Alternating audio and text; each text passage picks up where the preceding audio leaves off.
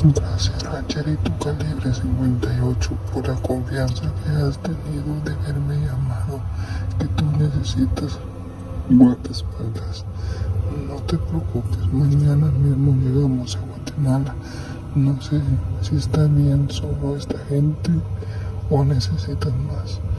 Gracias por tu confianza.